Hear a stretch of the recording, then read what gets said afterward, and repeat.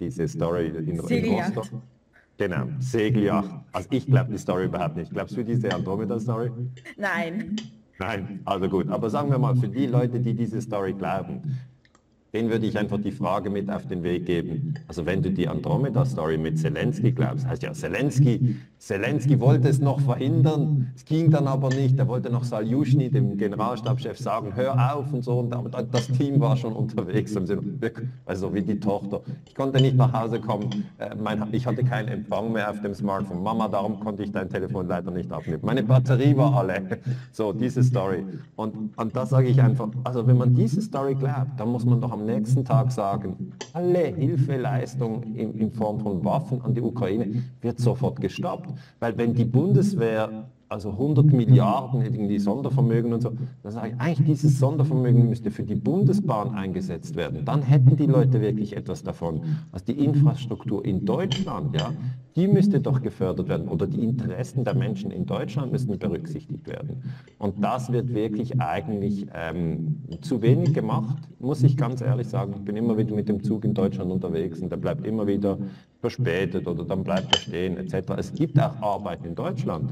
Und man muss eigentlich hier sagen, dass die Ampelregierung und auch die CDU-Politiker, die da in der Opposition sind, dass die eigentlich die nationalen Interessen von Deutschland in dem Sinne nicht verfolgen, weil sie Nord Stream nicht aufklären. Also ich bin fest davon überzeugt, Nord Stream wurde durch die USA ähm, gesprengt. Klar, das ist eine Verschwörung, aber was ist eine Verschwörung? Eine Verschwörung ist eine geheime Absprache zwischen zwei oder mehr Personen. Und die Nord Stream wurde ganz sicher nicht von einer Person gesprengt, das waren zwei oder mehr. Und dann müssen die sich im Geheimen absprechen, also ist auf jeden Fall eine Verschwörung. Im Angebot ist die ukrainische Verschwörung mit Präsident Zelensky und Generalstabschef Saljuschny oder die amerikanische Verschwörung mit eben sozusagen Präsident äh, Joe Biden und äh, CIA-Direktor Bill Byrne.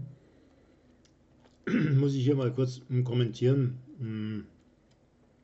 Das Witzige ist ja, egal welche Version, war es jetzt Zelensky alleine im Alleingang ähm, gegen den Willen der, der USA oder war es tatsächlich, wie er meint, die USA direkt oder indirekt oder waren sie es gemeinsam, ist doch völlig egal. Die einzigst und alleinige und sofortige Konsequenz müsste sein, okay, wir stoppen sofort sämtliche Hilfen für diesen Ukraine-Krieg. Was ja überhaupt nicht stattfindet. Also, und ich meine, und das deutsche Volk, also, also ich, ich habe niemanden, ich habe bis jetzt noch nicht jemanden irgendwo gesehen, dass der irgendwo demonstrieren würde oder mich inklusive. Ja, das ist halt einfach, also du kannst solche Sachen wirklich, ich glaube, Deutschland ist es mit Abstand vielleicht einzigste Land auf der gesamten Welt, wo du sowas überhaupt bringen kannst. Jedes andere Land wäre auf den Barrikaden. Und warum? Ja, weil man uns quasi von klein auf über Grundschule, Hauptschule, Realschule, äh, Gymnasium immer eingebläut hat, naja, äh, deutsches Volk, na, wir haben Schuld, äh, Schuldgefühle, Schuldgefühle, Schuldgefühle. Das ist das Gleiche, wie wenn du sagst, hey, ähm, ja, eigentlich wie so bei, ähm, das, bei, bei, sag mal, toxischen Ehebeziehungen, ja, oder äh, Eltern und toxische Eltern- und Kindbeziehungen, wo man einer Person immer einredet, sie hat Schuld, sie hat Schuld und halt abused und ausnutzt und ähm, es ist identisch. Ne? Es ist einfach, ähm, mir fällt dazu auch gar nichts mehr ein. Also ich weiß, man weiß gar nicht mehr, was man dazu sagen soll überhaupt, weil es einfach, also man, man versucht ja nicht mal mehr zu sagen, ähm, ja, es war irgendwie jemand Böses, sondern es waren unsere Freunde, egal ob es jetzt Ukraine war oder die USA oder beide oder wer auch immer, ja, von den beiden, gemeinsam, getrennt, whatever. Das ist ja völlig irrelevant für die einzige Konsequenz, die das daraus resultieren sollte, dass man eben sämtliche Hilfen für diesen Wahnsinns, äh, für diesen totalen Irrsinnskrieg äh, niemals gewinnen werden, äh, werden kann. Es geht rein, einzig und allein nur darum in diesem Krieg. Es geht nur um eine einzige Sache. Uns beschäftigt zu halten, ja, uns zu schwächen, Europa zu schwächen, damit sozusagen USA sich ähm, irgendwie Wege findet, ja, seine Vormachtstellung gegenüber China und äh, den BRIC-Staaten aufrechtzuerhalten. Nur darum geht es. Einfach um diesen Konkurrenten Europa auszuschalten oder zumindest mal beschäftigt zu halten oder zu schwächen.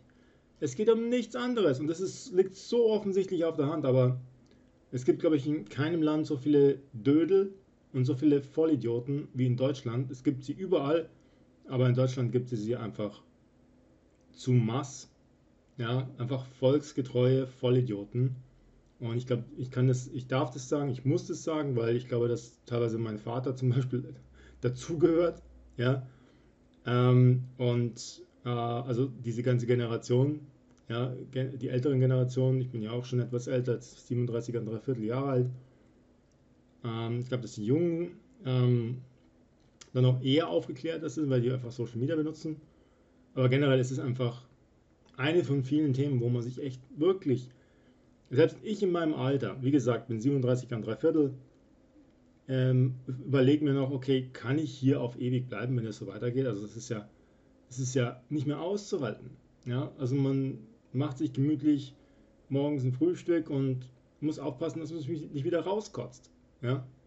Ähm, wenn man sich irgendwie währenddessen die Nachrichten anschaut. Also unfassbar und ähm, ich finde es nicht immer alles cool, was hier Christi sagt und so, aber äh, der Dr. Ganser ist natürlich ein renommierter Historiker und ähm, also der hat bis jetzt, glaube ich, noch nie was äh, gesagt oder von sich gegeben, dass man nicht wirklich ähm, als seriös und ähm, fundiert und äh, auch quasi komplett down to earth ähm, hier betiteln könnte. Und also es ist, es ist einfach, was mich so mh, hm, schockiert, ist diese, dieses, diese Offensichtlichkeit.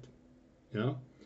Also wenn man jetzt alle möglichen Sachen und Tricks und so weiter anwenden würde und so, aber das ist so offensichtlich alles mittlerweile. Ähm, das, also wer schon mal selber getaucht ist und man kann so eine Geschichte, dass so ein Tauchlehrer 80 Meter Tiefe äh, bei, bei, bei Sicht null ja, äh, Sprengladungen angebracht hat von mehreren Kilos und so weiter. Das kann man den Leuten äh, auch verkaufen, weil die wenigsten tauchen. Jeder, der schon mal selber getaucht ist, ja, der weiß, wie, wie unwahrscheinlich das ist. Ja. Aber es gibt halt verhältnismäßig wenige Leute, die, die tauchen. Ja, das ist vielleicht einer von den Gründen, aber generell so ein leichtgläubige, leichtgläubiges Volk wie ja, ist sozusagen in Deutschland äh, über die Jahrzehnte äh, herangezüchtet wurde, muss man echt so sagen. Ja, und ich bin ja umgeben von denen in meiner Familie und überall. Es ist einfach schon wirklich schockierend und das alleine wäre gar nicht so schlimm. Ich meine, okay, dann ist es eben so und äh, so wie es ist, aber hey Leute, es gibt aber zu viele Sachen, die sozusagen äh, als Konsequenz darauf ja, wirklich an unserem Kernwohlstand nagen. Und wenn das dann letztlich auch der Letzte spürt im Portemonnaie, ja, Inflation, Energiepreise, alles, was mit dazu zusammenhängt, Firmen wandern ab. Wenn man es dann so richtig spürt, also wenn man in den Laden geht und man kann sich nicht mal mehr die Preiselbeeren kaufen. Ja, ich habe jetzt hier gerade in der Pfanne eine Regulasch. Ja, ähm, passend zur Jahreszeit. Dann ist es längst zu spät, dann kann man auch nichts mehr ändern. Es ist auch genauso, wenn die Leute sagen, ja, die AfD wählen. Spätestens 29 sind die an der Macht und so weiter. Dann ist doch schon so viel zerstört worden. Ja? Es zählt doch jeder einzelne Tag. Und nicht irgendwann 2029 und dann ist die Wende oder was. Das ist doch alles viel zu langsam. Auch diese Trägheit, dieses, auch das merke ich auch, wenn ich zum Beispiel Firmen, Leute einstelle und äh, interviewe, die bewerben sich.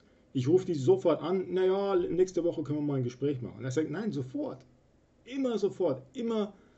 Ich hatte mal ähm, ein Praktikum gemacht vor vielen, vielen Jahren, wie vielen Jahrzehnten und ähm, da habe ich mir einen Spruch gemerkt, als äh, zum Beispiel da war der Typ, der für E-Mail-Marketing zuständig war. Na, ich bin ja auch Marketing-Experte und Vertrieb. Könnt auch gerne bei Klein Marketing vorbeischauen. Und da hat er zum Chef gefragt, du, wann sollen wir die E-Mail-Kampagne rausjagen? Darauf die Antwort von dem Chef damals, von dem Quisma hieß die damals, war in München. Äh, die Quisma ähm, gibt es jetzt immer noch, aber ist schon veräußert worden, schon lange. Äh, Exit geworden. Ähm, damals noch eine kleine Agentur mit 12, 20 Leuten ähm, am Heimerandplatz, na, Implerstraße, München. Dann sagte der Chef als Antwort, immer gestern. Ja, immer gestern. Speed, Speed, Speed. Und hey, ja, dann schauen wir mal, bis die AfD an der Macht ist, dann ändern wir und so weiter. Alles viel zu langsam. Misstrauensvotum gehört hier rein. Ja, die Leute, die jetzt an der Macht sind, die vertreten nicht mehr die Interessen Deutschlands und dessen, dessen Volk. Sofort abgewähltes Neuwahlen und so weiter. Zack, zack, zack, zack, zack, ja. Und so dieses, letztens war ich zum Beispiel äh, auf eine Visite wegen neuen äh, Bürobesichtigung zur Untermiete. Da habe ich dann jemanden kennengelernt, da war zum Beispiel auch eine andere Firma drin. Äh, ich sage jetzt mal den Namen, das ist so Rolls-Royce. Coole Firma, Top-Firma. Auftragsbücher sind voll und alles. Und dann hieß es, naja, hier sitzt normalerweise noch zur Untermiete so eine Abteilung von Rolls-Royce. Sind so an die 20 Leute, heute ist aber nur einer da. Und dann sage ich, okay, warum? Naja, wegen der Oktoberfest, das war vor zwei Wochen hier Oktoberfest. Ja, die haben Oktoberfestgrippe.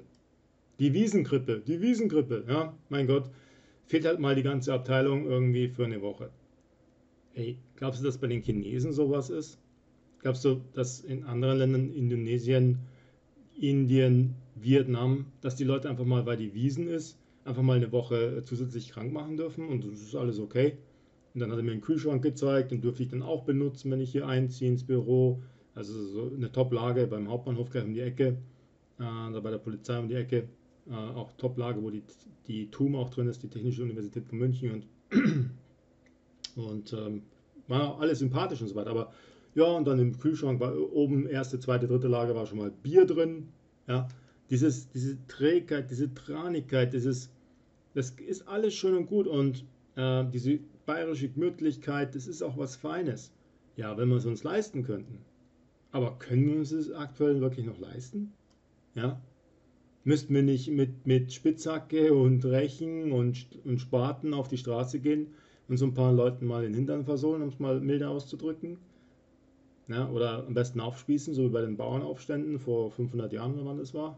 Also, naja, ähm, das ist halt so ein bisschen mein Kommentar zu dem Ganzen.